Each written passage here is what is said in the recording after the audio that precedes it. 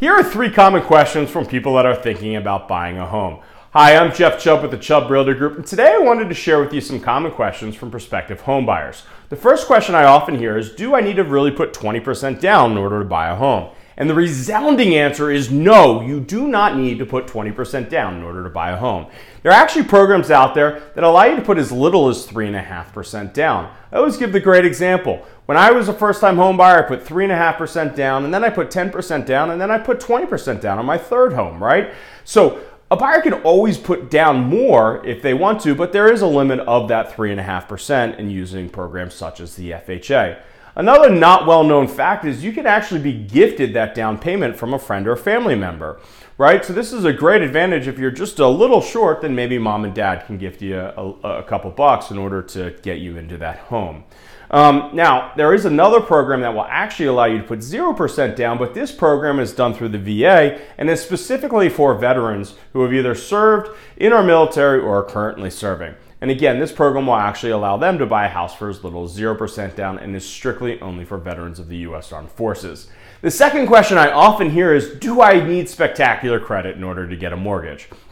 And the answer to this is well, you need a credit score of 580 or above in order to qualify for that down payment program with as little as 3.5% down. But there are programs out there, even if your credit score is below 580, where you can still qualify for a house, but you're ultimately going to need to come with a higher down payment.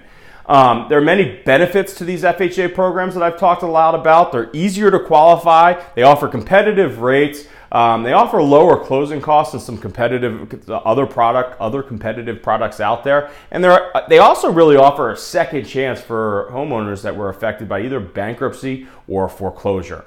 Um, FHA actually even offers a program, which is a really great program. It's called the 203K loan program, where they will actually give you money um, as part of your, your mortgage balance in order to do improvements on a property. So if you find a fixer upper and it's just a matter that you don't have the money necessary in order to make those improvements on the house, hey, we're still going to be able to help you maybe possibly get into the house and make that house the way that you'd like it. So the third question that I often hear is, how do I qualify for a loan? This is a great question, right? Well, I always say the first step is really reach out to a qualified and well-known lender that I know personally will do a great job for you. And it's really to start talking to them about that pre-approval process, right? So it's always important that when you have that first initial conversation or even a second or third, right?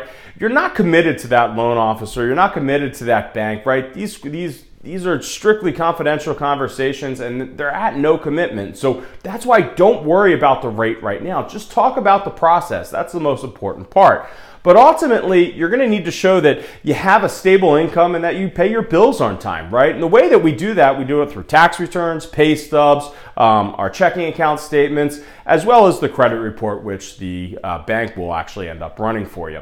So it's essential to find that right lender that will take the time to work with you and ultimately find those best solutions for you. If you need a recommendation, I'm happy to provide one for you. Just reach out. You know, at the Chubb Realty Group, we pride ourselves on making moving easier. Uh, we understand that the mortgage process, it can be a confusing maze, and we're going to walk you through that whole entire process, right? So feel free to reach out to us. The best number to get us at is 617 480 2600 or by email at jeff at boston2.com. We look forward to chatting with you. Hope you're having a great day and talk soon.